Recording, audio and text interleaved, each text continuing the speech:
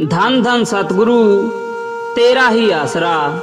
सन 1982 की बात है। सर्दी की शुरुआत थी। मैं अपने सतगुरु, परम पूजनीय, परम पिता, शाह सतनाम सिंह जी महाराज की दया मेहर से डेरा सच्चा सौदा, बरनामा यूपी में सेवा करने गया हुआ था। हम, कई मिस्त्री आश्रम के नए बने कमरों की जोड़ियाँ बनाने की सेवा कर रहे थे। सुबह के समय परम पिताजी तेरावास से सीधे हमारे पास आ गए। पूजा पिताजी ने और किसी मिस्त्री से कोई बात नहीं की। मेरे पास आते ही फरमाया, तरसेम बेटा, तू घर चला जा। तेनू छुट्टी है भाई। मैं गुनाहगार, मालिक सतगुरु की रमजों को क्या जानता था कि मेरे पिताजी का मोगा में एक्सीडेंट हो गया है? मैंने कहा कि पिताजी, अगर मैं घर चला गया तो हमारे घर वाले मेरा विवाह कर देंगे।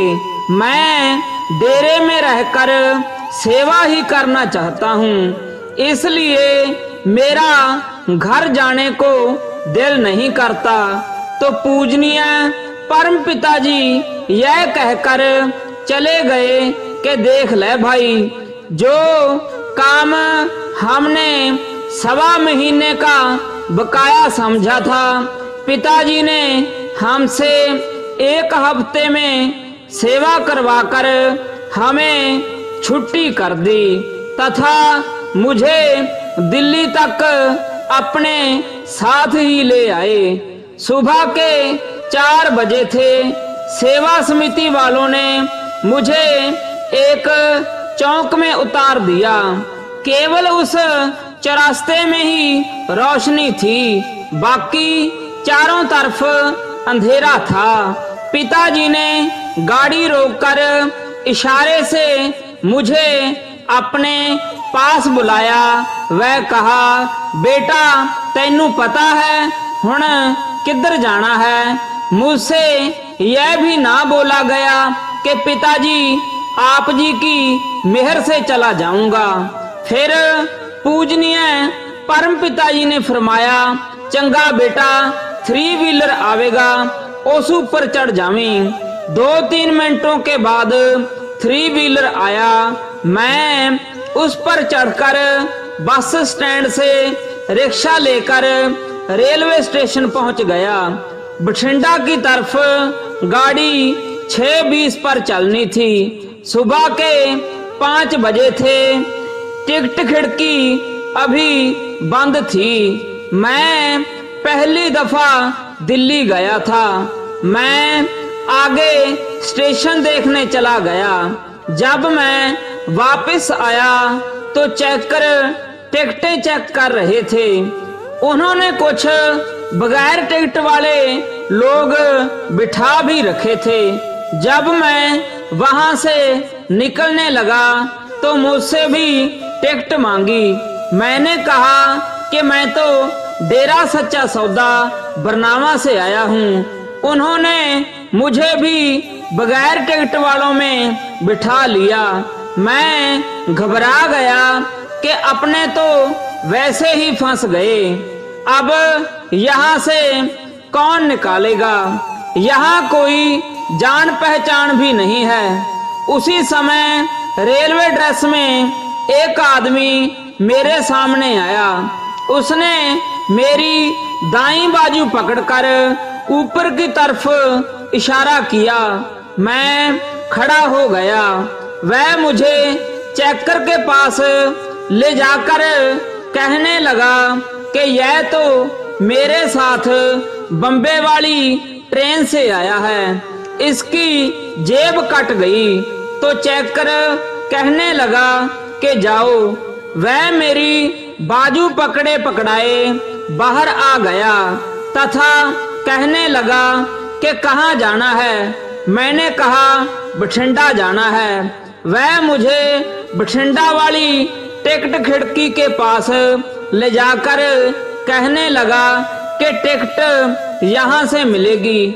मेरे मन में ख्याल आया कि मुझे दिल्ली में कोई जानता नहीं। यह आदमी मुझसे चाय पानी मांगेगा। मैंने कहा कि मैं पेशाब कर आऊँ। मेरे पैर उठाने की देर थी कि वह अजनबी अदृश्य हो गया। मेरी हैरानी व खुशी की कोई सीमा नहीं रही। फिर मुझे ख्याल आया कि यह तो मेरे सतगुरु परम पिताजी थे, जिन्होंने जहाँ पर भी मेरी लाज रखी। मैंने सुना था कि सतगुरु अपने शिष्य की इस तरह संभाल करता है, जैसे छोटे बच्चे की माँ। यह बात मैंने आज देख ली थी। मैंने अपने सतगुरु पूजनीय परम पिताजी का लाख लाख धन्यवाद किया। जब मैं घर पहुँचा तो मुझे पता चला कि मेरे बापूजी का एक्सीडेंट हो गया था, जो के घट घट व पट पट की जानने वाले पूजनीय परम पिताजी ने उसी दिन ही मुझे बरनामा यूपी दरबार से घर जाने की आज्ञा दे दी थी। मेरे बापूजी पैंतीस से सत्तर वर्ष की आयु के थे, जिनका कूल्हा टूट गया था। इस आयु में कूल्हा बंधना बहुत मुश्किल था, परंतु परम पिताजी की दया दृष्टि तो एक्सीडेंट होने के तुरंत बाद हो गई थी, जब मुझे घर जाने की आज्ञा दी थी।